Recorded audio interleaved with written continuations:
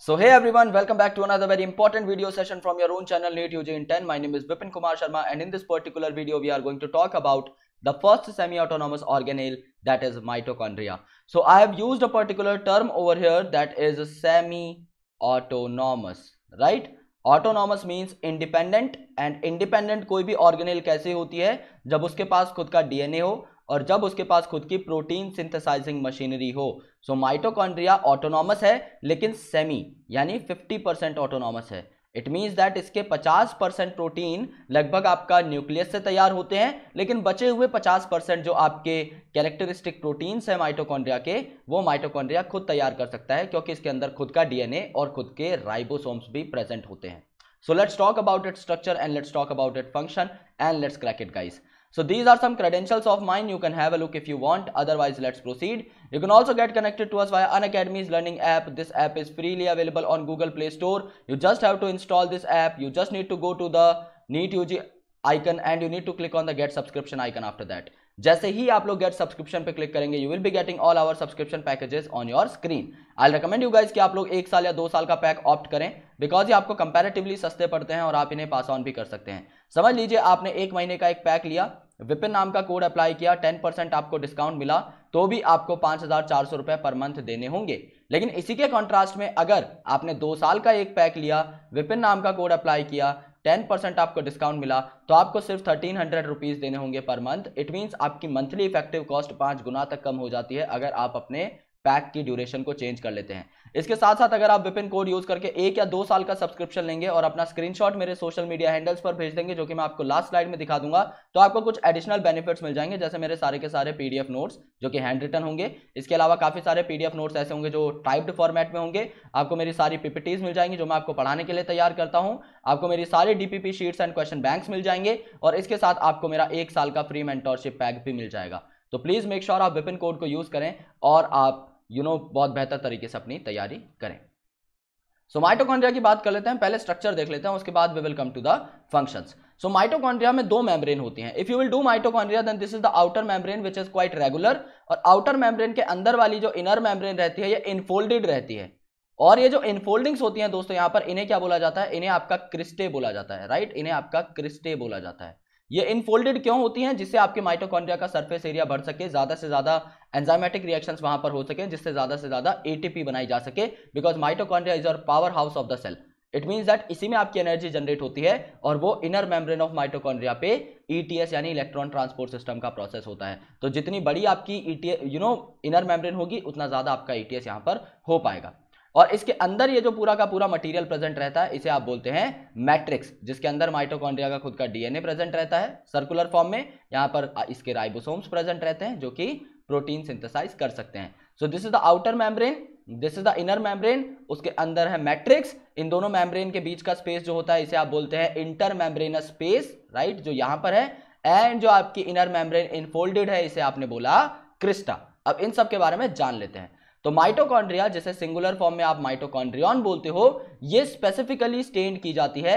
And it is not easily visible under the microscope right so so, जब तक इसे आप स्पेसिफिकली स्टेन नहीं करोगे तब तक ये आपको अलग से दिखाई नहीं देगी। यानी कुछ ऐसी डाई होती हैं जो कि बेसिकली आपकी सिर्फ़ और सिर्फ़ माइटोकॉन्ड्रिया को ही स्टेन करती हैं उनको आपको इस पर डालना पड़ेगा एंड आफ्टर दैट आप जो है इसे देख सकते हैं जैसे कि जानस ग्रीन वगैरह। सो so, ऐसी डाइज आप लोग यूज़ करते हैं। The number of mitochondria per cell is variable depending upon physiological activity of the cell यानी कि सेल की एक्टिविटी के बेस पर आपके माइटोकॉन्ड्रिया का नंबर बढ़ता घटता रहता है। क्योंकि समझ लो कोई ऐसा सेल है जिसमें एनर्जी की रिक्वायरमेंट बहुत ज़्यादा है, जैसे आपका flight muscle cell of birds तो उन, उनको उड़ने के लिए बहुत ज़्यादा एनर्जी की ज़रूरत है तो उसमें आपके ज़्यादा माइटोकॉन्ड्रिया होंगे। बट आपका एक ऐसा सेल है जो कोई बहुत ज़्यादा मेटाबॉलिक प्रोसेसेस जिसमें नहीं होते, जिसमें एनर्जी की डिमांड काफ़ी कम है तो वहाँ पर लेस माइटोकॉन्ड्रिया में भी काम लग जाएगा।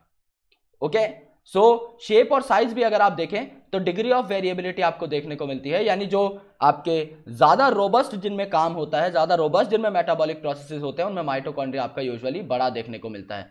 तो टिपिकली ये सॉसेज शेप का होता है। सॉसेज शेप मतलब एक मीट का टुकड़ा होता है, जिसे आप सॉसेज बोलते हो। आपने टॉम एंड जेरी में शायद देखा होगा, जो कि कई बार वो लेकर भागते रहते हैं। उसमें एक टॉम एंड जेरी में डॉग भी आता था, जो आपका काफ़ी बार सॉसेज खाता रहता था। तो उसी सॉसेज जो कि ऐसा दिखाई देता है राइट इस तरीके का आपका डार्क ब्राउन कलर का मीट का टुकड़ा होता है। वैसे इसकी शेप रहती है, जो कि सिलेंड्रिकल होती है। इनका डायमीटर जो है पॉइंट से वन माइक्रॉन हो सकता है। यानी पॉइंट टू से वन माइक्रोमीटर जिसका एवरेज आधा माइक्रोमीटर निकल के आता है, जबकि इनकी लेंथ जो है, ये आपकी वन से फोर पॉइंट वन माइक्रोमीटर हो सकती है।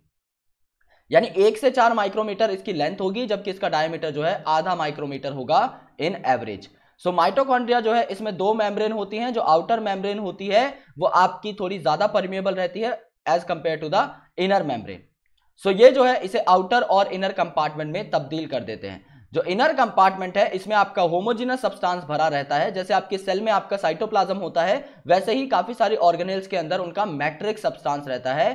तो ये जो होमोजिनस सब्सटेंस यहाँ पर भरा रहेगा, इसे आप मैट्रिक्स बोलेंगे। सो आउटर मेम्ब्रेन जो है, ये कंटिन्यूस लिमिटिंग बाउंड्री बनाती है। यानी कंटिन्यूस मतलब इसमें इंट्रूजन नहीं प्रेजेंट इसमें क्रिस्टा नहीं प्रेजेंट ये बिल्कुल आपकी रेगुलर है। लेकिन जो इनर मेम्ब्रेन होती है ये इनफोल्डिंग्स बना लेती है अपना सरफेस एरिया बढ़ाने के लिए मैट्रिक्स की साइड में जिसे क्रिस्टा बोलते हैं जो कि सरफेस एरिया बढ़ाने में हेल्प करती है। सो so, जो दोनों मेम्ब्रेन है इनमें स्पेसिफिक एंजाइम्स होते हैं। जो कि माइटोकॉन्ड्रिया के अलग अलग फ़ंक्शंस में पार्टिसिपेट करते हैं। जैसे इनर मेम्ब्रेन ऑफ़ माइटोकॉन्ड्रिया है वो आपका इलेक्ट्रॉन ट्रांसपोर्ट सिस्टम में काम करती है। मतलब ईटीएस के सारे इंपॉर्टेंट एंजाइम्स आपके इनर मेम्ब्रेन में एम्बेडेड हैं। सो माइटोकॉन्ड्रिया जो है यहाँ पर एरोबिक रेस्पिरेशन होता है यानी ऑक्सीजन की प्रेजेंस में आपके कार्बोहाइड्रेट को पूरा का पूरा जो है यूटिलाइज किया जाता है और उससे एनर्जी बनाई जाती है। सो so, एटीपी यहाँ पर तैयार होता है माइटोकॉन्ड्रिया में इसीलिए माइटोकॉन्ड्रिया को power house of the cell भी कहा जाता है। जो आपकी मैट्रिक्स है इसके अंदर आपका सिंगल सर्कुलर डीएनए मॉलिक्यूल जो है आपको देखने को मिल सकता है, कुछ आपको आरएनए भी देखने को मिल सकते हैं एंड 70 एस राइबोसोम जो कि प्रोकैरियोट जैसे राइबोसोम है, वो आपको देखने को मिल सकते हैं, जो कि प्रोटीन सिंथेसिस में हेल्प करेंगे। माइटोकॉन्ड्रिया की सबसे खास बात क्या है कि ये बैक्टीरिया जैसा होता है, ये डिवाइड भी कर सकता है। समझ लो ये आपका माइटोकॉन्ड्रिया है, ये आपका बाइनरी फ्यूजन से दो माइटोकॉन्ड्रिया में कन्वर्ट भी हो सकता है। एक एक बैक्टीरिया की तरह इसमें सेवेंटी एस राइबोसोम भी है, और सेम बैक्टीरिया की तरह इसमें सर्कुलर डीएनए ही है। तो ये बैक्टीरिया से बहुत मिलता जुलता है आपका mitochondria right so I hope you got this video very well अगर आपको वीडियो समझ में आए तो आप वीडियो को लाइक कर सकते हैं चैनल को सब्सक्राइब कर सकते हैं एंड बेल आइकन को प्रेस कर सकते हैं so that you never miss an update from NEET UG in ten अगर आप अन अकेडमी का सब्सक्रिप्शन लेना चाहते हैं तो आप विपिन कोड को यूज़ कर सकते हैं और स्क्रीनशॉट जो है मेरे सोशल मीडिया हैंडल्स पर भेज सकते हैं। अदरवाइज़ आप मुझे यहाँ पर वैसे भी फॉलो कर सकते हैं, जिससे हम कुछ चीज़ें डिस्कस कर सकें right thank you so much और ऑफिशियल टेलीग्राम चैनल का लिंक आपको डिस्क्रिप्शन में मिल जाएगा। आप वहाँ पर जाकर भी हमें ज्वाइन कर सकते हैं। Thank you so much